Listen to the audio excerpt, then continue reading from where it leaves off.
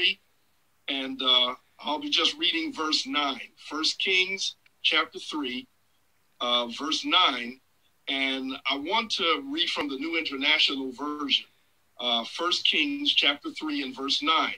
And it simply reads So give your servant a discerning heart to govern your people and to distinguish between right and wrong.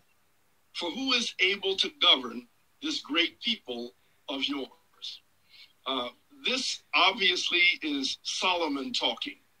Uh, God has now come to Solomon and simply said to him at the beginning of his reign as king, now that David is dead, the temple is being built, and uh, God said, Ask me whatever you want, and I will give it to you. And ordinarily, uh, Oriental kings, kings of that day, would ask for one of three things. They would ask for long life, they would ask, obviously, for wealth, or they would ask for the death of their enemies uh, in order to solidify their own power.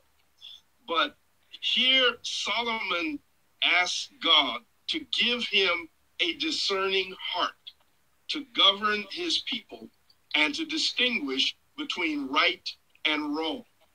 A discerning heart indicates the ability to listen to all sides of an issue in order to come to a true and wise decision. Uh, uh, and, and that, again, would be a characteristic associated with a good king in the ancient Near East. And yet, I think we would look for that even today. Uh, with movements going on, everybody wants to be a leader of some kind. So many voices, so many competing voices, that it's it's necessary, I think, particularly for those of us who are born of the Spirit and are looking for God's guidance, that God would give us discerning hearts.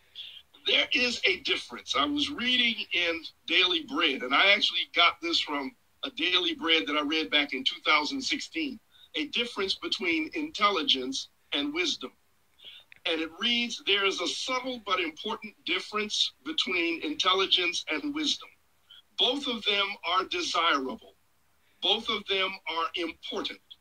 Both require diligence and discipline to acquire and exercise. However, wisdom is often considered the appropriate application of intelligence. Knowing something is one thing, being able to act well on what you know is something else altogether. As Solomon shows, intelligence can be demonstrated by speech, but wisdom is demonstrated in both speech and action. Solomon asked for wisdom. He could have asked for anything he wanted. He asked for wisdom. What would you ask God for in your own life as you look at your circumstances, the things that you are dealing with? I would suggest here three things that we can ask God for. First of all, ask God to grow us up in our faith. In other words, Solomon was wise, but his actions were foolish. Solomon is considered one of the wisest kings in Israel's history. In fact, his wisdom is considered incomparable. But if you look at Solomon's actions and the things that Solomon did, his action did not follow what his wisdom would have led him away from. And so his actions were continually foolish. He continually violated God's statutes, and as a result, he died roughly in his 60s. He did not live to be as old as David was. We need to ask God in this day and age to help us to grow and to mature in our faith. I love the Lord with all my heart, and I know I'm not all I ought to be. I'm not where perhaps I think I ought to be sometimes. But I know that God is moving me along. One of the things I suggested to folks is that when the coronavirus hit, it hit the churches in such a way that God put us out because God needs to sanitize the house. My hope is that going back in, we will be better and more committed to Him than we were before when all of this started. In other words, God, we're listening now You've got our attention. God, help me to grow up in my faith so I don't walk around holding the grudges I used to hold.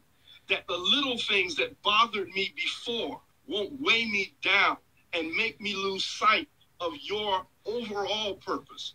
That I walk in accordance with your will. The second thing I ask is that we would ask God to make us bold in sharing our faith.